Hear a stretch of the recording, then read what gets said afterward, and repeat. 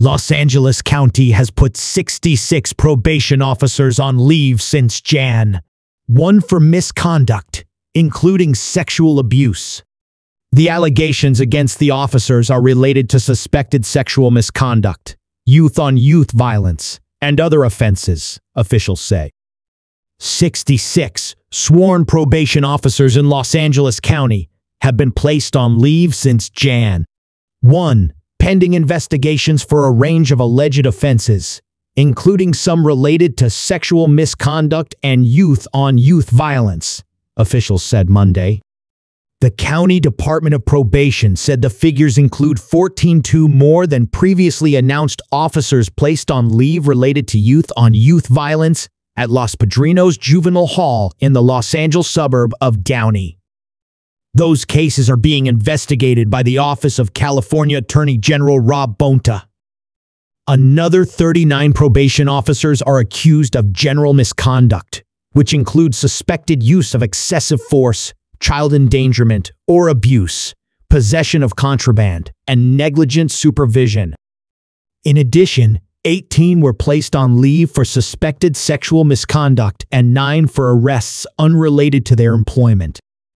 We are releasing this information in the spirit of greater transparency and to assure our stakeholders, especially the families of youths in our juvenile facilities, that we will not tolerate anything that impedes our mission to provide a safe, nurturing, and structured environment for those entrusted. To our care, Probation Agency Chief Guillermo Viera Rosa said in a statement. Those placed on leave were assigned to the department's adult and juvenile operations, Rosa said. Los Padrinos Juvenile Hall reopened last year to replace two other facilities after authorities closed it in 2019. In February, the California Board of State and Community Corrections declared Los Padrinos and another youth facility unsuitable to house youthful offenders. The body gave the facility 60 days to rectify any issues, or else it could be ordered to close its doors.